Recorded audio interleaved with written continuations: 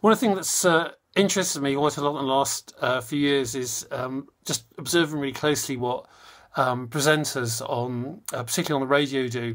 And it seems to me um, a lot of them sit on the BBC do a great job.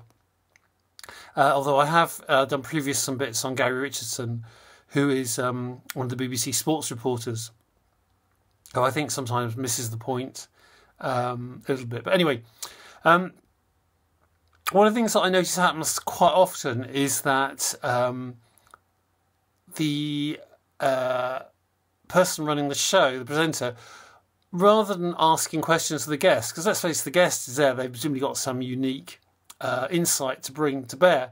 Often they haven't got that much time, so it makes sense that the um, you know the uh, interviewer gets the best out of them and asks good questions. But what I find happens sometimes is the what they will do is they will almost like try and top the anecdote. So the guest says something, and then rather ask you another question to probe more deeply, what the presenter will do is sort of you know almost like tell a story about themselves.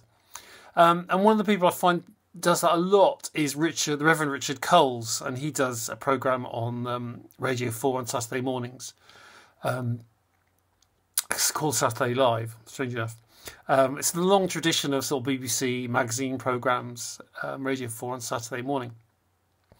Um, now, one of my uh, greatest achievements, I think, in life is when I was a student um, with a friend at the end of the summer holiday. We cycled from uh, Workington on the west coast um, of England to Tynemouth on the east coast. Um, and I have looked this up. Excuse me, just looking away.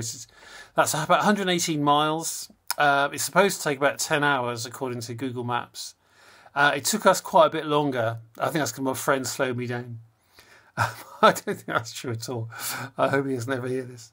Um, in fact, in the end, I think we did it actually in about 20 hours. I mean, there was some we had some pretty horrible weather uh, some of the time, and that's an average speed of about five miles an hour. So that's very, um, very, very poor.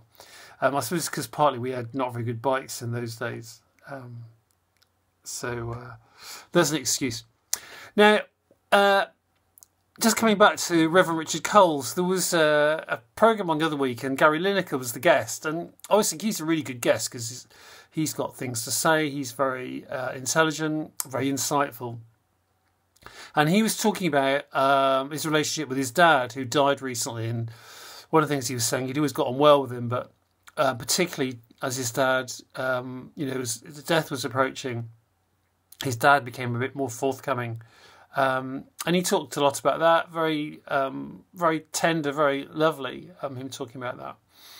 Um, and uh, what happened was then that day, Richard Coles. Then it felt to me he should have asked more questions, but he, and to be fair to him, it was raw for him because I think his sister-in-law, um, who's very fond of her, died. Um, quite recent to that. So it's completely understandable. He he kind of had that was very much on his mind. Um, but one of the things that made me think about was, um, you know, if I was in the situation with the interviews, um, what could I tell to top uh, the interviewer? Uh, and in the highly unlikely event, I thought of me interviewing someone like, say, Heston Blumenthal, so he's done triple cooked chips, snail porridge, bacon and egg ice cream, parsnip cereal, mock turtle soup, uh, which apparently is a multi sensory experience.